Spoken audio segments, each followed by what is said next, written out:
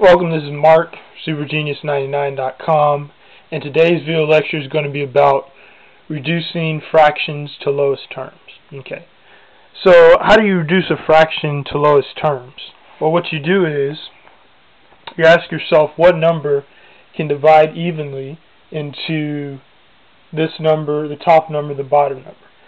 Now, you may not get the biggest number off the bat, but you can always start with something small. Okay. So like on this first one here, we got 22, we got 98. So we're asking ourselves, what number can go into both 22 and 98? Well, if both numbers are even, then it's obvious that 2 will work. So I'm going to divide both 22 and 98 by 2. So 22 divided by 2, 98 divided by 2. So what is 22 divided by 2? That's 11. And 98 divided by 2, that is 49. Okay. Now, how do you know when you're complete? How do you know when you finish, you reduce it to the lowest terms? Well, when the only common factor between the numerator and the denominator is 1, okay, then you have reduced it to lowest terms. So the factors of 11 are 11 and 1. The factors of 49 are 49, 7, and 1. Well, the only two numbers, the only two factors that this numerator and this denominator share is 1, so we know we're done. Okay? So now let's look at the next one. 90 and 39. So what number can go into both 90 and 39? How about 3? So 90 divided by 3 and 39 divided by 3. So I'm going to divide the top and the bottom by the same number. So it's 90 divided by 3? 30, and 39 divided by 3 is 13, and that's as far as we can go there because the only factors that 30 and 13 share is 1. Okay, let's look at some more.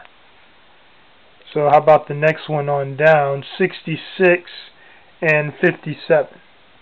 So you just ask yourself, what number can go into both 66 and 57? Uh, 3.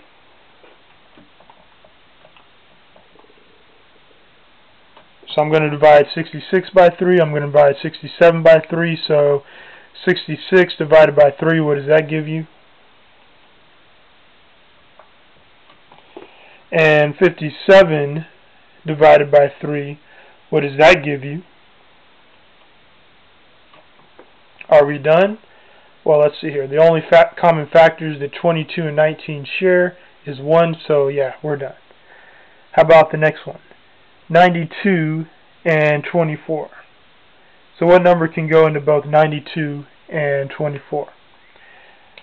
How about 4?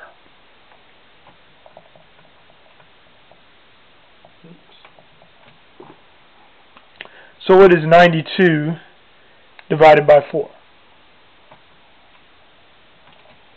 And what is 24 divided by 4? Okay. Are we done? Just ask yourself, is there any two numbers that, what are the number, what are the common factors that 23 and 61 share? Well, they only share one common factor, and that's 1, so you're done. Okay, so this concludes my video lecture about reducing fractions to lowest terms. You can look me up online, www.supergenius99.com. Thanks for watching.